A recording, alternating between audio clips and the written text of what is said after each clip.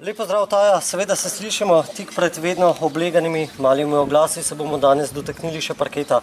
Tega ne prodajamo, niti ga ne kupujemo, temveč ga obnavljamo. Pa ne mi, temveč 13 obrtnikov parketarjev iz vse Slovenije. Slednji so včeraj in danes tukaj v enoti vrca Kekec, pa tudi v enoti Pastirček obnavljali parket z okolju prijaznimi parketnimi laki na vodni osnovi Kromoden. Kaj to pomeni? Otroci se bodo lahko že takoj prihodni teden brezkrbno igrali na obnovljenih talnih površinah vrtu. No, predaj obnovljenih prostorov si je tukaj ogledalo kar nekaj gostov, od tako obrtnikov kot župan Grcuplega, spodobuj pa se, da najprej besedo predamo predstavnikom vrca, ti, ki so deležni tega lepega darila. Z nami je pomočnica ravnateljica vrca, gospa Andreja Šimnic. Gospa pomočnica ravnateljice, vrtec letos praznuje 60 let. Lani ste tukaj v tem vrcu, pa tudi ostalih, dobili nova sodobna igrala. Letos še ta obnovljen parket, kar zgleda, da teh daril nekako ne zmanjka. Ja, zelo smo veseli in ponosni, da smo letos lahko vstopili v verigo tistih vrtcev, ki so dobili možnost brezplačnega obnove parketov v slovenskih vrtcih. Mi smo šesti vrtec v tej verigi in letos so nam slovenski parketarji obnovili 350 kvadratnih metrov površin, kar pomeni šest igralnic, tri igralnice v enoti Kekec in tri igralnice v enoti Pastirček.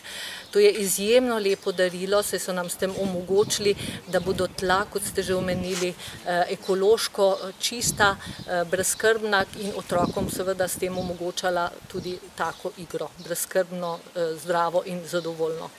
Hvala.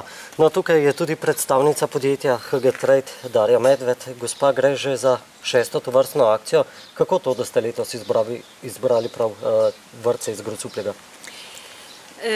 Mi izbiramo čisto naključno vrtce po Sloveniji, delujemo po celi Sloveniji. V bistvu tam, kjer so naši kupci, kjer so naši mojstri, ki radi delajo s temi laki, saj ti laki so okolju prijazni, čisti in so namenjeni ravno za vrtce, šole in večje ustanove. Ter pa zelo pomembno za močno obremenjene površine. Mi s tem želimo prikazati poklic parketarja javnosti, ker ga pač ni uradno in na ta način se mi tudi izobražujemo in pač nudimo neko tehnično podporo vsem tem.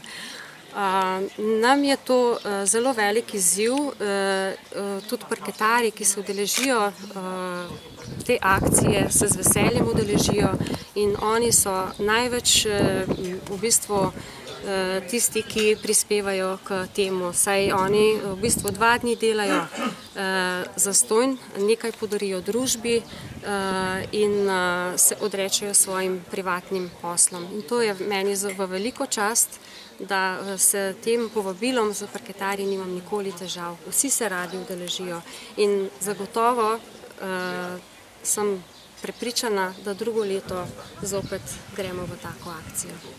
Hvala. No, te nove pridobitve bodo gotovo najbolj veseli najmlajši, veseli pa so jo tudi lastniki, konkretno občina in današnjo otvoritev, skorajda predajo tega, si je ogledal tudi tukajšnji župan, župan Grosuplja, doktor Peter Verlič. Gospod župan, verjetno vas veseli, da vsa obnova, vzdrževanje pa enkrat vendarle ne pade na pleča lastnika in da so vam takole na pomoč priskočili podjetniki in pa seveda Helios. Ja, jaz bi se zahvalil tukaj za ta prispevek, dobrodelni in tudi na koncu v evrih se to izkaže podjetju Helios za to akcijo, da je izbral vrtec Kekec in s tem dal še eno lepo darilo ob šestdeseti obletnici.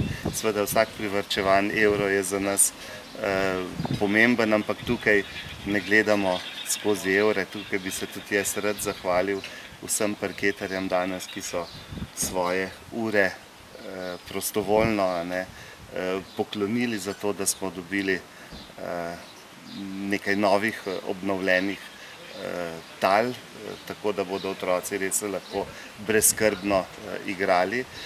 Na neki način pa s tem pravzaprav danes tudi promovirajo tisto, kar si naša občina zelo želi z vsemi projekti, biti varna, zelena, povezana, sodelovati in mislim, da je to spet en takšen eh, projekt, ki je pokazal varen zato, ker bodo eh, ta tla obnovljena ekološko, čisto. Jaz sem bil danes tukaj noter, dejansko ni nobenega vonja, mi se vedno bojimo, ne, ko damo brusati pa lakirati paket, da nam bo še tri dni smrdelo, danes tukaj ni nič od tega.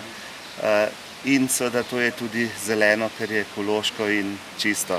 Zares hvala lepa tudi v imenu občine Grosuple podjetju Helios in pa seveda si takih akcij želimo še v prihodne. Ja, najlepša hvala vsem trem sogovornikom.